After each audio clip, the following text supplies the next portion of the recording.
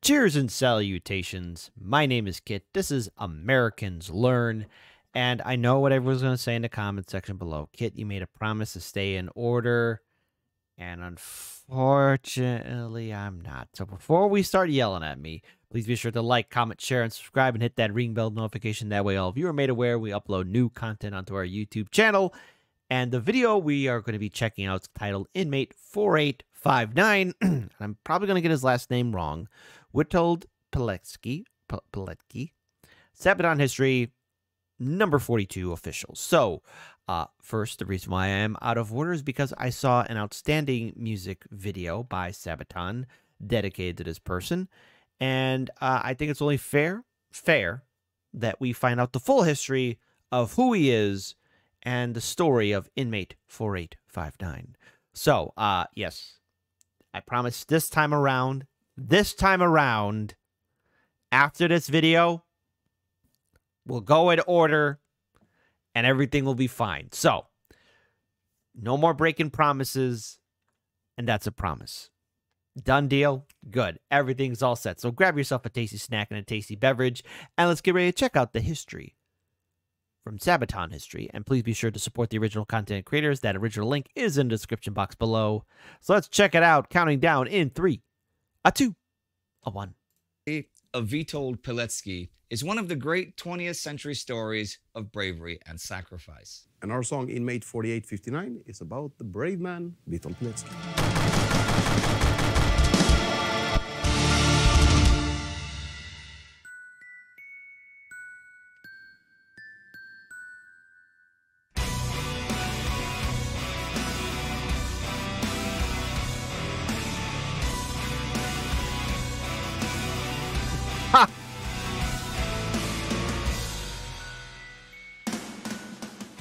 The story of Witold Pilecki is as tragic as Witold Pilecki. That's how you say a name. Witold Pilecki. it is heroic, and it is one for the ages. He was born in the Russian Empire near the Finnish border in 1901, spent his youth as part of the nationalistic Polish Pathfinders, and fought in independent Poland's new army against the Soviets in the Polish Soviet War. He lived a peaceful life for much of the interwar years, but eventually returned to the Army Reserve and in 1939 was mobilized against the German invasion. Pilecki's Ulan regiment was shattered by the advancing Wehrmacht, but he joined other Polish stragglers and kept fighting until the fall of Warsaw. In late October, he disappeared into the underground, where he joined the resistance movement of the Tajna Armia Polska, an arm of the Armia Krajowa, the Polish Home Army. Now, one of their tasks was to get inside knowledge about German prisoner of war camps, and one camp in particular in the small town of Oswiecim, Auschwitz in German, where many Wow. Poles simply disappeared. It was suspected that they were sent to Germany as forced labor, but no one knew for sure. Pilecki came up with a dangerous plan. He would personally infiltrate Auschwitz, uncover the truth, and organize resistance in the camp. On September 19th, 1940, using the Holy cow.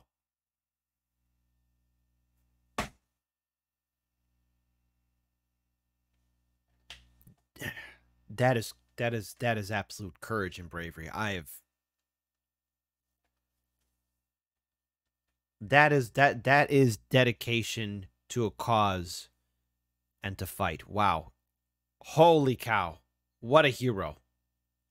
Alias Tomasz Serafiński, he intentionally walked into a German security sweep on the streets of Warsaw. SS men seized him, and the next day he was herded alongside other Poles into trucks at the Warsaw train station. All day they drove east. The men pressed together without food or water. Now, the rest of this story is told directly from the source material, from Pilecki's personal report about his experiences in the camp. It is not pretty.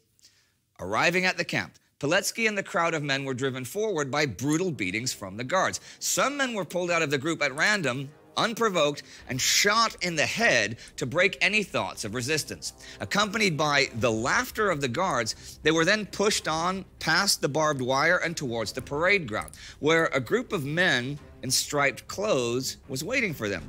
These men jumped the newcomers with fists and clubs. Some were actually beaten to death. The men in the striped clothes then asked them questions about their backgrounds and their jobs. And those who said uh, academics or doctors were knocked to the ground. With boots kicking against their heads, their murderers proclaimed that this is the concentration camp Auschwitz, my good man. Wow. His head shaved, Pilecki hurried out of the bathhouse, though a guardsman knocked out two of his front teeth because he did not hold the sign with his prison number between them. From now on, Pilecki was neither himself nor Tomasz, but a number, prisoner 4859. In his paper thin, blue and white striped uniform, and a pair of ill fitting wooden shoes, he found himself once again on the parade ground. There, he encountered the murderous men again. They were called capos, prisoner functionaries. Often German or Polish criminals, they were tasked with, let's say, keeping things in line inside the camp, since the regular SS men lived in barracks outside, right? Most of the capos were violent sadists who enjoyed brutally beating and torturing the helpless prisoners. Wearing yellow armbands with the capo label, they also oversaw the labor companies, to one of which Pilecki was assigned. In that labor company, it became clear that Auschwitz aimed to first exterminate the Polish intelligentsia. Prisoners with academic backgrounds who were not used to demanding physical work or who, lacked the experience or the dexterity to work in the quarries were mercilessly beaten to death by. Um. First of all, again, I had no idea about Vital Pilecki, um, and what he did and the amount of courage it must have took to even take this operation at hand. Um, I don't think I was ready for this story, but I will salute this man for all the courage that he did just to make this heroic operation to find out what was happening in Auschwitz. That's a face of bravery and dedication and heroism. by the capos. Being too exhausted to lift another brick or, or to push a wheelbarrow was also a death sentence. Every evening, fewer people returned to the main camp. Every walk to the latrines, every trip to the bathhouse was accompanied by beatings and harassment. Those who came late to morning parade or, or tried to hide away were hunted down, dragged to the parade ground, and either hanged or shot in front of the others. Many tried to kill themselves, usually early in the morning before the day of torture began. If anyone tried to escape, the whole block was punished for it, standing out in the open for hours or, or doing punishment sports where men too exhausted to lift their arms fell down and died under the boots of the capos. Often, the only time to catch your breath was when they were busy murdering another prisoner. Pilecki's good physical condition saved him from this fate, but for how long could that last? Well, Pilecki set out to build his first resistance cell, a group of five men. Later, he would create other fiver groups, but none of them knew of the existence of the others. So, in case they were captured and tortured, they could not betray the whole network, right? Those groups would either organize food or clothing or would help other members to get a, a job, since it was clear from day one that staying in the worker groups, the labor groups, even well conditioned men like Pilecki would soon die. So many of those worker prisoners did, in fact, die that the prisoners had to build the first camp crematorium. Pilecki noted that the camp became one big mill which ground living people to ash. In 1941, as more and more prisoners were brought in, the camp grew. Larger fences were needed, more barbed wire, and more guard towers. And as Auschwitz grew, it needed to feed itself. And this opened up jobs for the older prisoners. With careful planning, Pilecki got his fiver groups into the carpenters, the postal service, and the barbers. He eventually got himself a job as a repairman for an oven inside an SS man's house outside the camp. Upon leaving the living hell of Auschwitz, he returned to a world of, of lavish gardens, laughing children at play, and villagers having normal, everyday conversations with one another. Huh. Oh man, that that that would that would break my psyche. That would break me.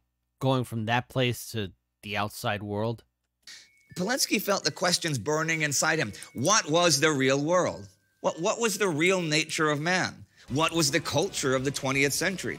Since mankind had advanced so far from the barbarism of old, how is this still possible? Or, or was this the true face of humanity? Would the whole world look like this if the boundaries of civilization disappeared? That is a serious question to ask.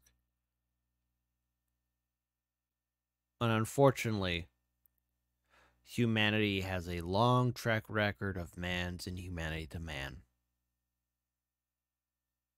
I wish it was something different. But humans have been doing this to each other for a very, very long time. I do hope for the day when there is peace, but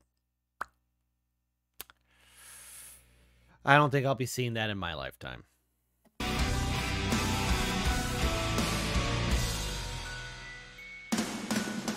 Each morning, he and the other prisoners found themselves surprised to be alive. Their bodies thin to the bone, black and blue from the daily beatings, riddled with lice and fleas, living on a starvation diet. Only his daily mantra, you're not giving up, helped Pilecki keep on and try to inspire others to do the same. Survival was only possible through friendship and mutual help. Loners died quick. Now, up until May 1941, it was possible for ordinary Poles to be released from Auschwitz, mostly by their families paying enormous sums to the Germans. Those released prisoners smuggled Pilecki's notes to the Armia Krajowa, but when the war between Germany and the Soviet Union began, this stopped. Instead, new groups began arriving to the camp. Many were now Jews, and by the end of August, the first Soviet prisoners were transported to Auschwitz. Pilecki reports that one day, 700 officers were tightly packed into a room all day, till finally a group of German soldiers with gas masks on threw gas containers inside. This was the first act of gassing people with hydrogen cyanide at Auschwitz, according to Pilecki. Soon after, though, on his way to work, he passed groups of naked Soviet prisoners waiting to be led into the crematorium where they were gassed and burned. The capos were often brutal savages, but the bestiality of some of the SS guards was even worse. Pilecki tells of guard dogs trained to go for the throats of prisoners, the torture of smashing testicles with a hammer, and many stories far too nightmarish to tell here. Now, with his cells set up in important positions all over the camp, Pilecki was ready to start a revolt, but he needed help from the outside to be successful. The prisoners were thirsty for revenge, and they were ready for anything since they did not fear death after all they had endured. But even had they managed to overwhelm the guards and take the camp, they would not be able to hold it for long.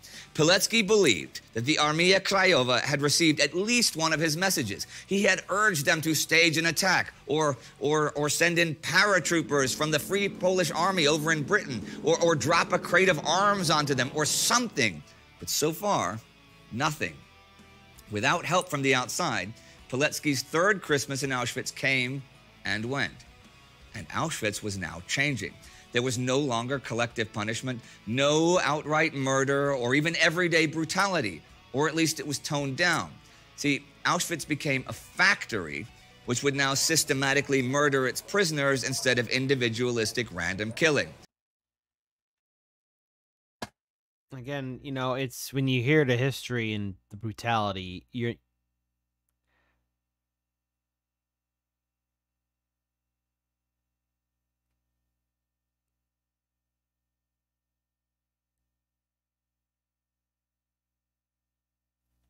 Sorry, I don't mean to be quiet, but you know, no one should go through that, okay? Simple as that. You know, and um, they're just giving a nice censored version. I, I apologize for using the word nice. This is as plain as it could be, especially. Oh.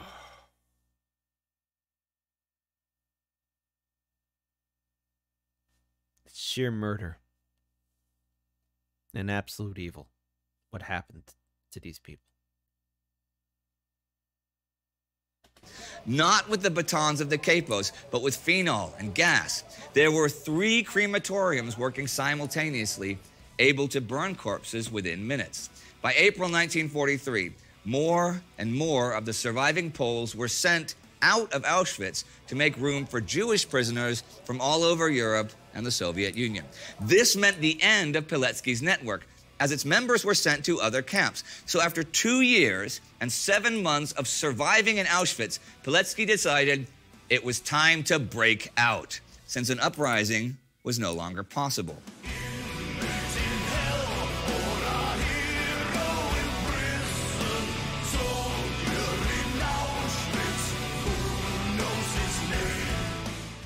He got a night shift job at a bakery outside the camp. Shortly after Easter, as one guard was asleep, he and two other men pushed the door open and ran. Shots cracked out behind them, but they ran all night and all day until they reached a small town.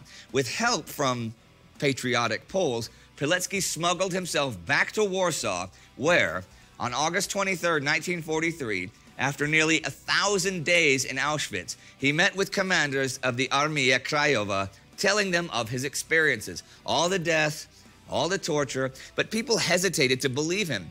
It seemed all too uh, unbelievable. Even for even for the hated germans to do all this killing. They knew it was bad but not this bad. It was bad. Oh my god to even get that report.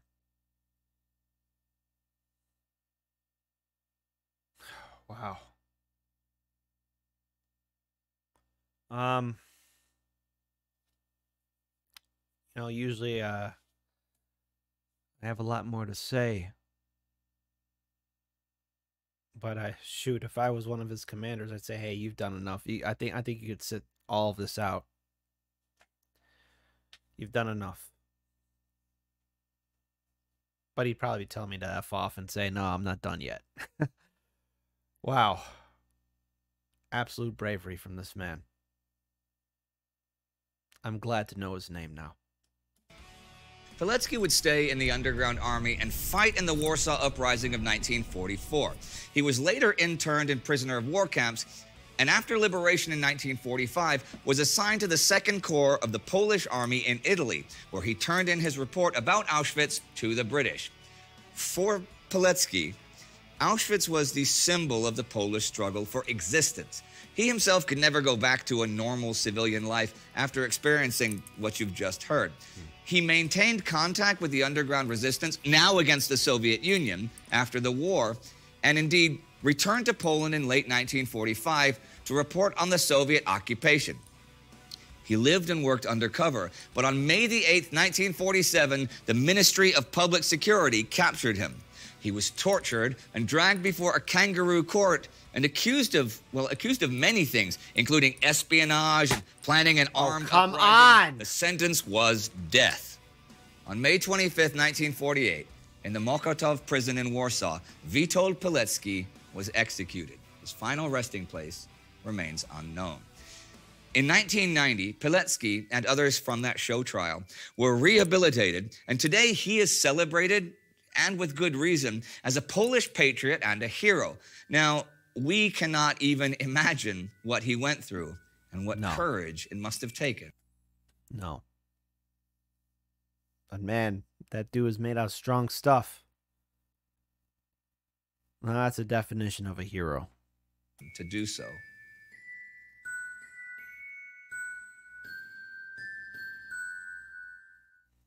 It's a pretty heavy story, you know? Yeah, uh, I got to be honest. Over, I don't know how many people we researched for the Heroes album, but if there ever was a slam dunk, you know, part of my language, what the fuck moment, this was it. I would say. And it is, you know, their their sacrifice is one thing, bravery is another thing, but doing all of that. I mean, think of the odds. I mean getting in and getting out. Yeah, I'm gonna go and, to Auschwitz on purpose, and then I'm gonna get out. Yeah. on purpose, and doing all that for a cause and for what is essentially what is a noble and a just cause, any way you slice it. Yeah, and I, I mean, I am so surprised also that how isn't there a major Hollywood blockbuster about this? That makes no sense at all. Yeah, it's mm-hmm. and people are coming up with you know Hollywood scripts. I mean, I'm not bashing the film industry here. Don't get me wrong. No, no, it's okay to bash the film industry. I mean, let, us uh, at, at this point, it's okay, especially to bash Disney.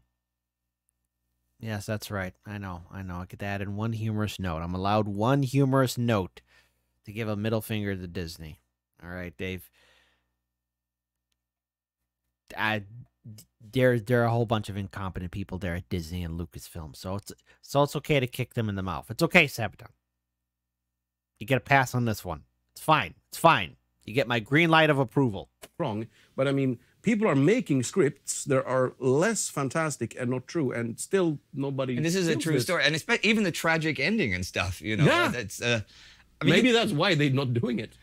well, they could throw in a like a romantic interest or something. They could have Gwyneth Paltrow, maybe. I don't know. Romance in Auschwitz, great.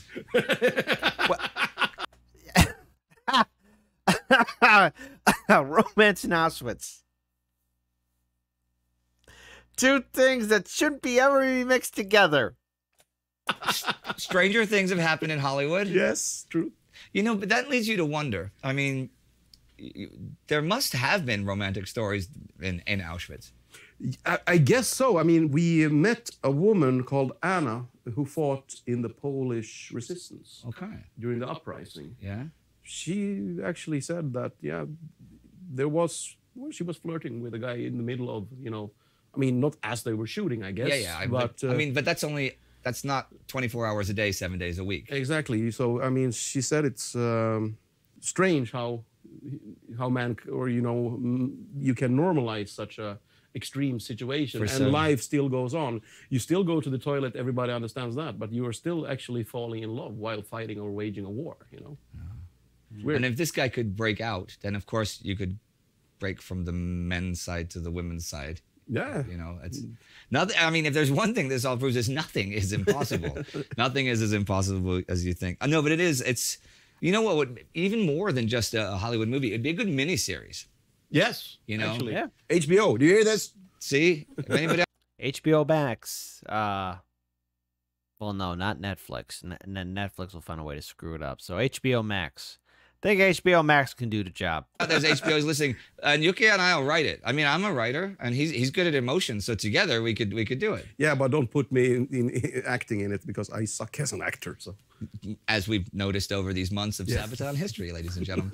um, what about the actual song itself, though? Uh, did did you decide on the, the topic before you wrote the song, or did you have the music sitting around and and? I w- wrote the music with Peter, our producer. Uh-huh, Uh, okay. The first time we wrote a song together, and uh, him, you know, coming from, you know, Lindemann, Pain, Hypocrisy, those bands, and the harder side of things, uh, it became a bit of a harder and very, very dark song. So as we were writing that song, I realized that this is the song because Yeah. obviously, even though it's a very, very, you know, we're singing about a very courageous man it would not have made sense at all to have a, you know, proud, uplifting song yeah. for the subject. You know? for especially yeah. I wonder what he was like as a person, like personality wise, because you don't. I mean, from the story you can see, okay, he's got a lot of dedication, but if you meet someone on the street, you don't know if they're a dedicated type person or not. No, you no, know? no.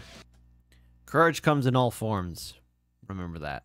So it would be um it would be really interesting. Well, uh, that's your homework, guys, to uh to go and uh put the song on and think of Witold Pilecki. Vito That's all for today. Thank you very much. See you next time.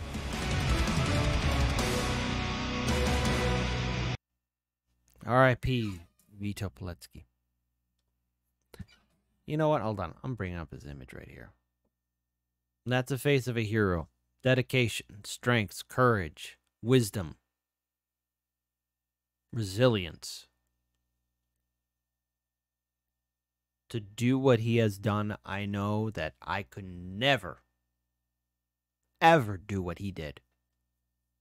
That takes courage and commitment and an unbreakable will. And, you know, it's easy for all of us to say, oh, I could do this, I could do that. I, to hearing this man's story and what he went through, this man has earned my respect.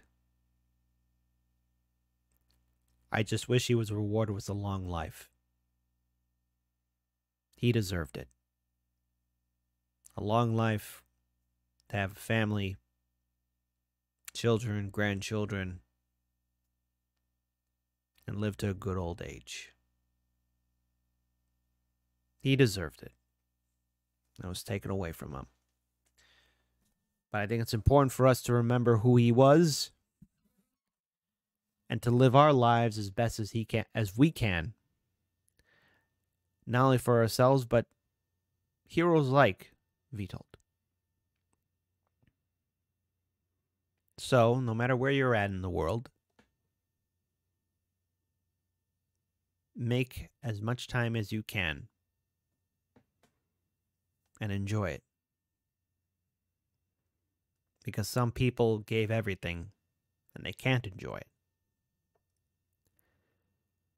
So, Vito Poletsky, inmate 4859. Thank you for your bravery. Rest in peace. This has been Americans Learn. Please be sure to like, comment, share, and subscribe. And yes, I promise after this video, I'll go in order, uh, starting with uh, History number four. That's a promise. So take care. I'm up out of here.